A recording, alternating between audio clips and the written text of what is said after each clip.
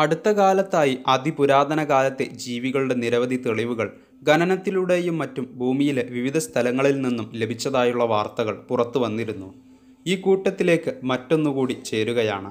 അതും മുപ്പതിനായിരം വർഷം പഴക്കമുള്ള തികച്ചും സംരക്ഷിക്കപ്പെട്ട നിലയിലുള്ള ഒരു അണ്ണാന്റെ മമ്മി. ആദ്യ കാഴ്ചയിൽ രോമാവൃതമായ ഒരു പന്തിന്റെ രൂപത്തിലായിരുന്നു അണ്ണാൻ. എന്നാൽ അപ്പോൾ അതെന്താണെന്ന് വ്യക്തമായിരുന്നില്ല. തുടർന്ന് നടത്തിയ എക്സ്റേ പരിശോധനയിലാണ് അത് പ്രകൃതി തന്നെ മമ്മിഫൈ ചെയ്ത് സൂക്ഷിച്ച അണ്ണാനാണെന്ന് വ്യക്തമായത്.